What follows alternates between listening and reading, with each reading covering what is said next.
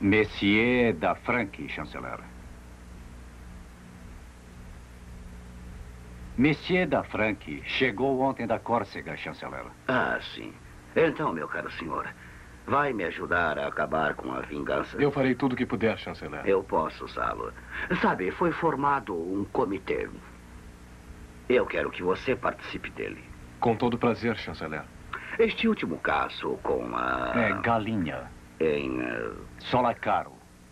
É muito oportuno. Na verdade, chegou no momento exato. Nosso governador na Córcega é um correspondente incansável, mas não há nada melhor que uma testemunha. O comitê gosta da testemunha para colocar os dentes nela. E você, Monsieur... Da Franque. Da Franque. É ideal. A ovelha amarrada para atrair o tigre. É um modo de falar. Eu fico muito feliz por finalmente haver ação.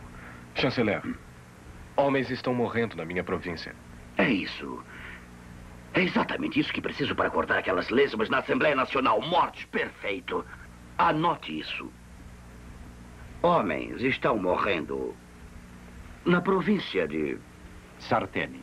Sartene, chanceler. Eu estou emocionado com sua preocupação. Todos os franceses devem saber da prosperidade que a França tem no presente reinado em cada departamento, menos na Córcega. Como os homens podem ganhar dinheiro se estão sempre se agredindo? A resposta é não podem. Então, esta vingança deve terminar de uma vez por todas para que a Córcega possa usufruir dessa marcha para o poder material. Você gostou disso? Marcha para o poder material? Sim, chanceler. Então, meu caro rapaz, eu ainda o tornarei um homem rico. uh, Pochon irá informá-lo